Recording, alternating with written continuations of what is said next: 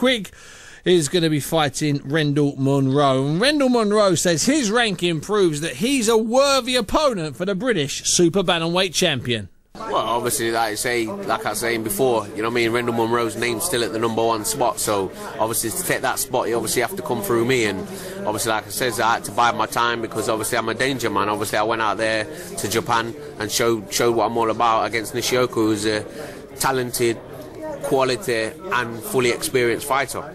And age is not a factor with you, is it? Age, age has never been a factor for me. Obviously, look at me now. You know what I mean? Who, would say I'm going 32 this year? Do you know what I mean? I always say that any 19, 20 year old want to come and test me for fitness, bring it on because he ain't going to beat me. You know what I mean?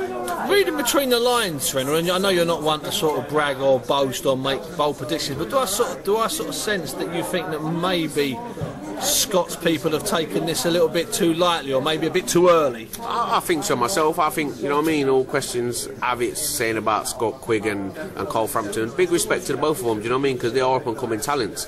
But then obviously I look at myself as to say that obviously I've been there, I've defended my European title six times, I've been in the ring with world title champions, I've been in even even Simone Maludrottu, you know what I mean? He, he, he fought, he fought for a world title. Obviously Terrazas who's fighting for another world title. Do you know what I mean? So I've been in there. I think the idea was is I don't think myself personally they wanted to fight. I think they were looking to get me a world title fight and then obviously talk about Munroe Quigg obviously as a, as a world champion. But obviously that world title fight ain't come of come of age really. Obviously like I say, none of the world champions want to fight me because I'm that much of a danger man.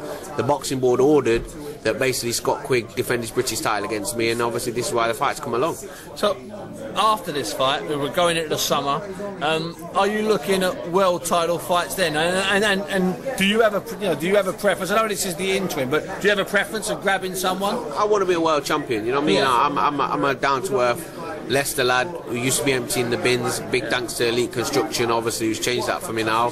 But obviously, to be a world champion is, is, is, is, a grace on its own, do you know what I mean? And obviously, I put in the hard work, the dedication, and I think I deserve a chance. Obviously, like I said, I went to Japan. I gave it my all out there, and obviously it showed that the difference in class. But obviously, like I said, that I came from an English champion to a European champion, so I lost a lot of experience in climbing the ladder through winning the European title. So obviously, like I say, I was still coming through, and this old dog can learn a whole heap of new tricks. What a show, eh? Rendall Munroe, the bin man. We had Scott Quigg who paid four grand to go out and learn his trade. We had a couple of